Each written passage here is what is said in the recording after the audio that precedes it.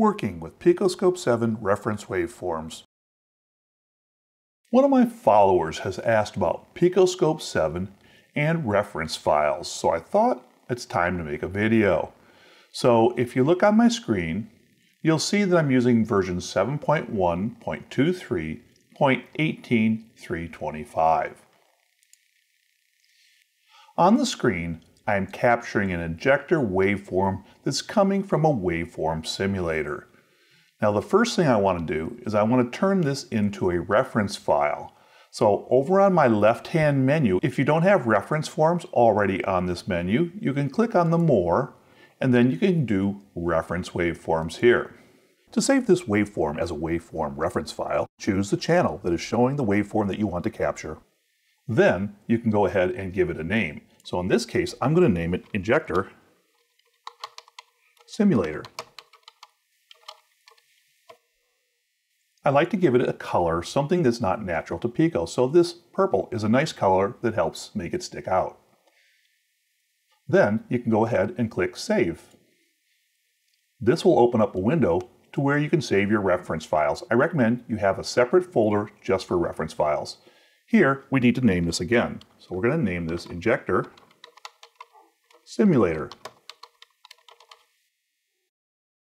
And click Save. Now, that has already been preloaded over on the right. You can see that here in that purple color, and that waveform is already loaded. However, if you don't want that loaded, or you want to know how to load it later, back over to Reference Waveforms. And to remove that, just click Remove. Now you'll notice that it's gone off to the right here. To bring that back, you simply go to File, make sure you navigated to the right reference area, and here is Injector Simulator reference file. Go ahead and hit open. And you don't see it because it's laying right on top of my waveform. This is where your offsets can come in handy. If you want to do your vertical offset, you can move this up or down for your reference comparison. And your delay will give you a left and right movement of this waveform.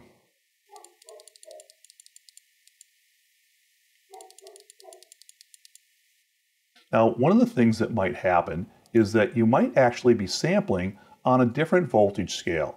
Back over to the channel, if I am on a 100 volts as I'm making my sample, and then I go ahead and I load my reference waveform, and let's come over and grab this one. You'll notice that they do look different, and that might throw you off when you're taking a look to see if this is comparable or not. What you have to make sure is to look at the maximum voltage on your reference waveform, which is 50 volts, and then look at the maximum voltage on what you're sampling, which is 100 volts. If you go back over to your channel, you change this to 50 volts, now you have waveforms that are identical that you can compare to. So how do you take a saved file and turn it into a reference file? Well, the first thing you have to do is go ahead and click the open so you can open that saved file. And here's the last one I just did. It's a simulator of a TPS, and this is from my waveform simulator. So let's go ahead and open that file. And there's my file. Now we can go over to my reference waveforms, and it's as simple as choosing this file, which is this one right here, and go ahead and we want to save it like we saved the last one. So I'm going to name this as TPS simulator. And again, I prefer colors that are not default channel colors, so I like the purple because it sticks out. And I'm simply going to hit save. And once again, I'm going to name this as my TPS simulator. And there it sets and hit save. So that's already preloaded now. And if I wanted to see that, I could simply move one of these delays over. Also note, if you want to adjust these vertical offsets or these delays, you can use the pluses or minuses, but you can also click right in the center and then you can type in a value like 20%. Or you want to go back to zero, you can just take and zero that out. Or you can come back over here if you don't like 100 milliseconds offset and you want something more like a 200 milliseconds offset, you can do it that way. So let's go ahead and remove this waveform and then let's go back over and show you how you can load that again, back to reference waveform, up over to file, go ahead and select the waveform you want to load, click OK, and again, it might be right on top, so you may have to do an offset so that you can see that waveform. And by any chance that you're looking at this waveform on a different voltage scale, you may have to change your voltage scale. So if I came over here and had this on 20 volts right here, well that's going to look a lot different, even though if we came and measured that maximum voltage, that's 5.332. I came down here and measured that maximum voltage, that's 5.343. So depending on how close I make my measurements, you can see that it's the same voltage value. Let's take a look at a situation where we have a crank in red on the bottom and a cam signal on top in blue. And let's see how we can do reference files for both of these so we can use this as comparison. So the first thing I'm going to do is go over to reference waveforms. And I'm first going to do my cam sensor. So I'm going to click on channel A. I'm going to change the name to cam simulator. I'm going to change the color to one of these purple colors. And I'm going to go ahead and hit save. And once again, I have to change the name to Cam Simulator. And I'm going to hit save. And that's going to preload it over here on the left. Now I'm going to come over to the B channel. So up under Manage, I'm going to click on the B2 right here. I'm going to go ahead and name this my crank simulator. I'm going to change the color to one of these orange colors.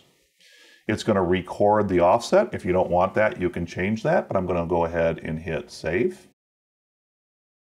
And name this Crank Simulator. It's not the best crank signal I've seen, but it's what I've got to work with. Now we've got the orange crank loaded over here on my right, and if I lower that down, we can see that crank simulator. And I have the purple cam simulator loaded over here on my left. And so now we can separate this for our comparison. Additionally, if I want to reload these, let's go ahead and remove both of these. And let's go ahead and play start recording. And let's say the engines is not the exact same RPM. So I'm going to go ahead and change that RPM a little bit. And now let's go to reference waveform. Let's go to file. Let's bring up my crank. And then let's go to file. Let's bring up my cam.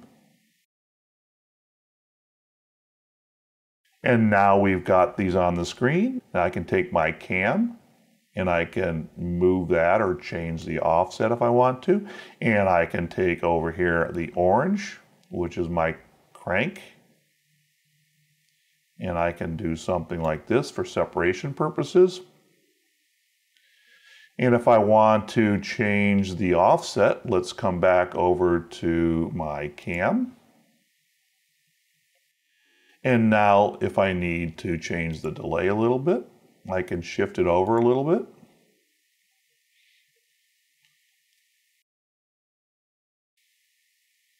And let's say that we just want to look at one of these signals. It's really easy to go over to View.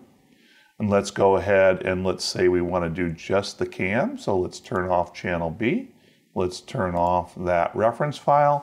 And now we can work directly just with this cam signal if we want to view just the one. And we can do the same thing if we just want to work with the crank signal. We can do it in this fashion. And now we can do a crank comparison. Now the actual capture in red is at a slightly different RPM speed, so they're not perfectly the same, but we can still do our waveform comparison.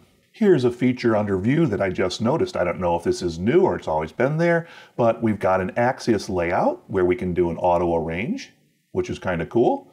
And we can also do a reset. And if I do this auto arrange, you'll notice the patterns got smaller. And that's because Pico took into account how much screen space I have.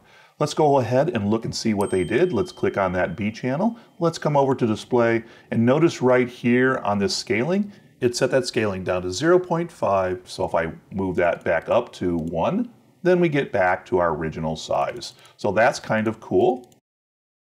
Let's go back over to our view and let's turn on these other two channels and let's do auto arrange again. And now this puts everything on the screen, makes it a lot easier to do our comparison. So this is kind of cool. Now I can go ahead and take this pattern and move this a little closer if I want to. I can bring my cam signal down here if I want to. I can come over and make these a little bit closer along this way. If I want to shift this one way or another, I can simply go back over to my reference waveform. And if I'm working with the cam, I can click on my cam and I can change my delay a little bit. If I don't like it going from 20 to 30, but I want it to be like 25, I can do this and just do 25 milliseconds. And that brings these a little bit closer to alignment. I hope you found this helpful. So let's show a nice feature about loading a setup file. So I'm going to come over to open. I'm going to open up this TPS simulator file. And there's my waveform that I captured last time. If I click the stopped and make it go to run, I want you to notice something. First of all, it's going to verify your probes. So I'm going to go ahead and run with probes found. And then I want you to notice that the time, trigger, and other settings were all saved. So now if I want to go ahead and capture another TPS signal, it's going to go ahead and capture that. However, if I just want to reset my scope and get rid of all these settings, there is a reset configuration, and that is actually found under the More menu. That's right there. I put it as a favorite, so I'm going to come over here and hit Reset. I want you to notice it's going to warn you and you hit OK. It will reactivate everything. So in my case, I have to turn off my channel B. I have to come over to my channel A and go ahead and choose my 10 volts. And now I'm back in something that's not giving me all this crazy waveform stuff. I hope this has been helpful.